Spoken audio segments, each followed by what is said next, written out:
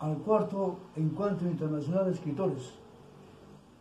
Rolando Mandujano Antonio, desde Villarrica, la tierra del café más fino del mundo, Selva Central, Perú. Renacimiento. Mi sangre fluye en ese río profundo de tu ideal. Las balas cayeron en la selva misteriosa y estás allí eternando. No olvides, en las primaveras tu espíritu está con nosotros y como un solo puño buscamos un mundo de justicia y amor.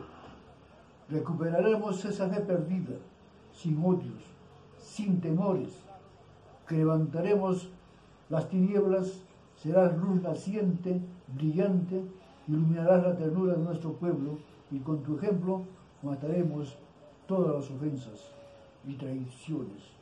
Rolando Mandujano.